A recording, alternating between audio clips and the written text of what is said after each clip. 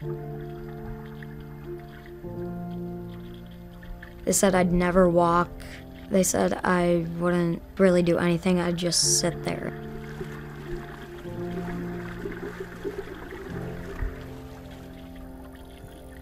The doctors told my parents they were gonna have to rotate me every seven hours and I would never be independent and I would never live a normal life.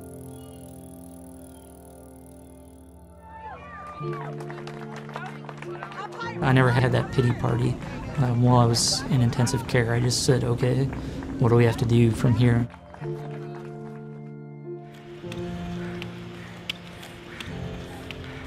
It was something that I missed a lot, but had grown to accept that it was something that I wouldn't be able to do.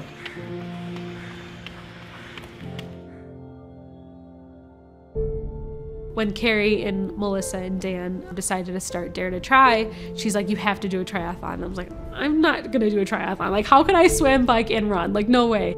At first, I was like, oh my gosh, I don't think I'm ever gonna be able to do that. I kind of took a, a long hiatus from sports from, you know, when I was diagnosed with cancer to uh, really halfway through college. It's really easy when you sustain a life changing injury like this to kind of pack it up and go home and never come out. But having people like Carrie and Melissa and Dan, they're not going to let you. They're going to motivate you in a way that's going to make you want to come out and live life the way that you were living life before. You know, you just get there a little differently.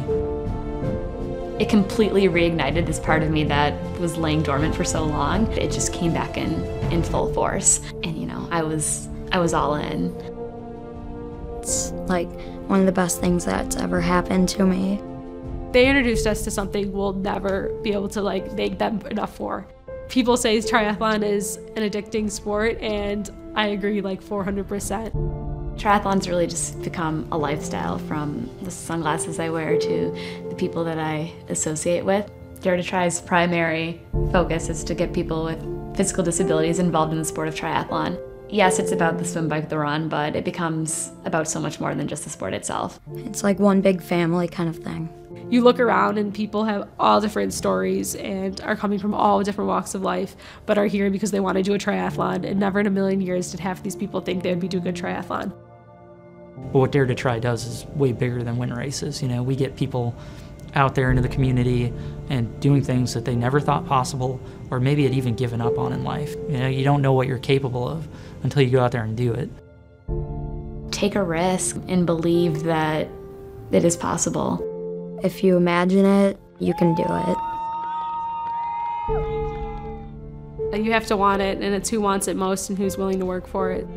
The one inspires many uh, slogan that Dare2tri carries uh, totally fits the bill. It's impossible not to be motivated when you're surrounded by such a special group like that. It's amazing what you can get yourself to do uh, if you just push through it. That's when champions are made. They're they're pushing their body when someone else isn't. I remember crossing my finish line and, you know, knowing that I, as a person, had changed. I was no longer just an amputee or a cancer survivor. I was a triathlete.